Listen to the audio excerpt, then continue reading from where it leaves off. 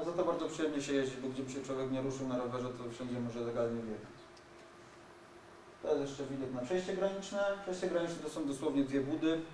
Po jednej stronie jest, y, są panowie y, z, z niebieskimi beretami, napisem Police z tyłu i z logo ONZ na tychże beretach, a po drugiej stronie są Serbowie.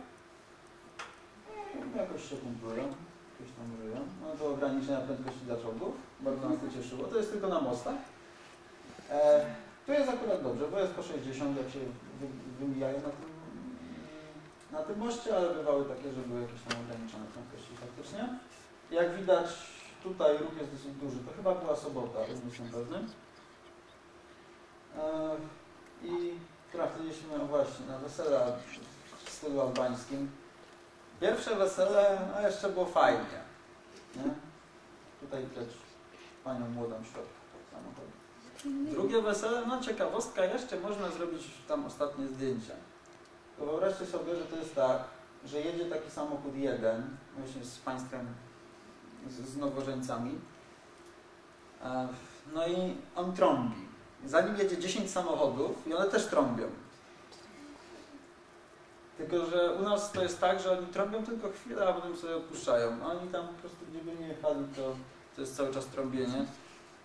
E, Poza tym u nas jednak wesele, jak się trafi jedno, to ono tak przejedzie i cześć. A tam jechaliśmy przez dobrych kilka godzin po Kosowie i tych wesel spotkaliśmy kilkanaście. Prawda, że nas szlak trafiał w pewnym momencie.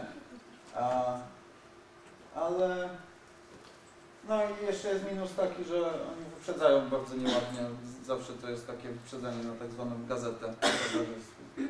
Tutaj dojechaliśmy do Prisztiny, szukaliśmy jakiegoś miejsca do zjedzenia czegoś. E, Trafiliśmy do, najpierw do kawiarni, a potem do restauracji. Tu studiuję mapę. A potem spotkaliśmy takich przyjemnych panów. To są e, polscy policjanci, których tam spotkaliśmy. Paweł, jak widzicie, ma czapkę z orłem, ma też, miał też banderę na rowerze, na dwóch szprychach przywieszoną jakąś tam. A oni tam są z ramienia ONZ? Oni tam są w ramach sił pokojowych Unii Europejskiej EULEX. Aha, a ONZ tam na ONZ jakiej też podstawie jest, działa? ale Polaków w ramach ONZ z tego co mówili nie ma. Mhm, a mm, co tam ONZ teraz robi, nie wiesz? Nie mam pojęcia. Wiem, że stoją na granicy na pewno. I, i granicy serbsko-kosowskiej i granicy e, kosowsko-czarnogórskiej. Te, te, ta granica jest śmieszna, to mówię też za chwilę. E, no i ci panowie, e, tak jeden z nich wychylił się z samochodu i krzyczy do nas Ej, naprawdę przyjechaliście z Polski na rowerach? My się tak odwracamy, zaszokowani, że w ogóle ktoś po sobie po polsku mówi. Paweł odkrzyknął, tak, to zatrzymajcie się na chwilę. Pogadaliśmy z nimi chwilę. Mm, No, zrobiliśmy sobie zdjęcie, wiadomo. Yy, Zaprosi, chcieli nas zaprosić na jakieś, jakąś herbatę i pogaduchy do jednostki. Yy, To jest yy, trzech ze 110 polskich policjantów sił specjalnych, którzy tam stacjonują. E, I oni prosili, żeby tego zdjęcia nikomu nie pokazywać. Yy, jest za mną wielki billboard, yy, co jest znakiem, że Kosowo jest w pełni zdrowym krajem.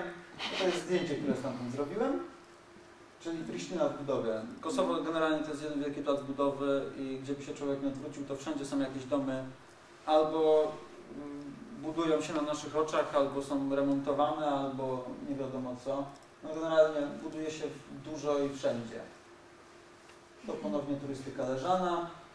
Jeszcze kwestia jest taka, że jak jechaliśmy do, y, do Prisztiny, to mieliśmy wiatr w plecy, co jest dużym ułatwieniem. I 30 km od granicy do Prisztiny przejechaliśmy w godzinę 10 minut, co daje z sakwami naprawdę bardzo dobry wynik.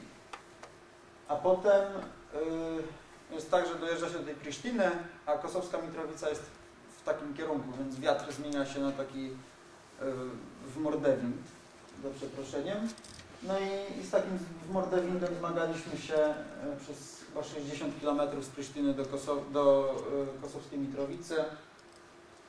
No właśnie, kosowska jest napisane w e, nawiasie, dlatego że tabliczki, mm, tabliczki z nazwami miejscowości są dwujęzyczne, są po serbsku i po albańsku. Bardzo często wygląda to tak, że jest napis po serbsku i napis po albańsku i one wyglądają tak samo. A właśnie w przypadku kosowskiej Mitrowicy jest tak, że e, Serbowie mówią kosowska Mitrowica, a Albańczycy mówią Mitrowica po prostu. No tak sobie poleżeliśmy przy stacji benzynowej koło y, smażalni frytek albo jakichś innych y, chipsów. Po czym wyjechaliśmy z Koszowskiej Mitrowicy, gdzie jeszcze wcześniej porozmawialiśmy z takimi e, taką jakąś młodzieżą, młodą dość, około 12 lat. Jeden z nich trochę mówił po angielsku. I tam dostaliśmy dość poważną lekcję geografii politycznej.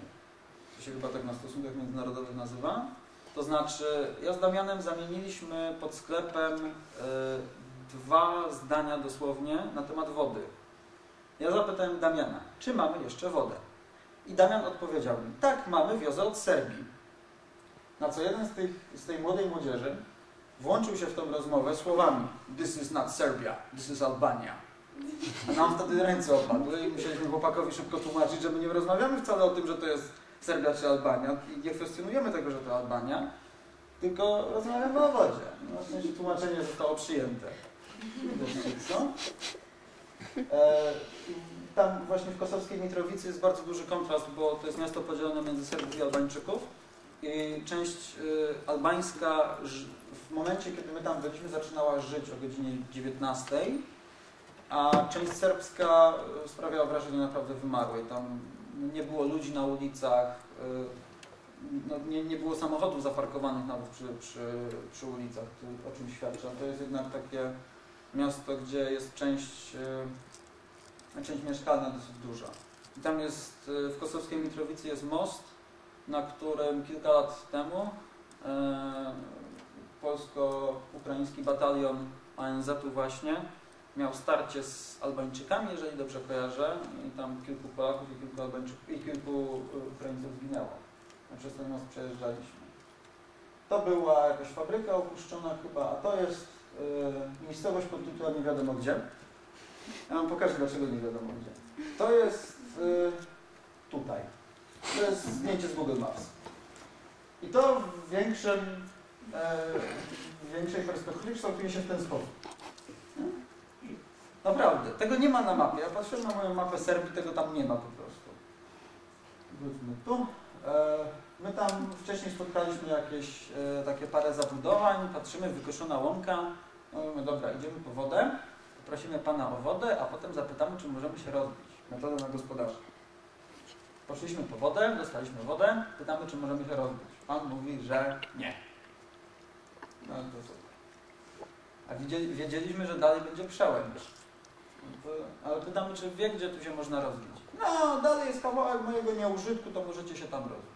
Tak przynajmniej wywnioskowałem, bo Pan rzucił coś po serbsku.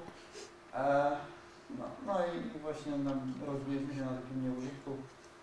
Niezbyt wygodnie się spało, ale przynajmniej był potok i się wypraliśmy i, i umyliśmy się po raz pierwszy od trzech dni. No niestety tak wygląda higiena na wyprawie. Sorry. E, no, to jest ten model będzie.